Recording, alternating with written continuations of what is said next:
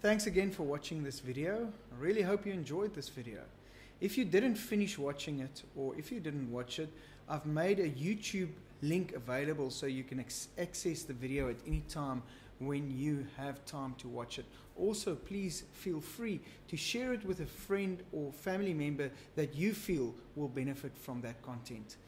And lastly, if you feel you need more personal information, please opt for the first option at the bottom of this email and request a personal consultation. I'm looking forward to meeting with you during a personal consultation via Skype or in my office in Cape Town uh, in the Western Cape. So please let me know what your thoughts are. Looking forward to hearing from you. Thank you.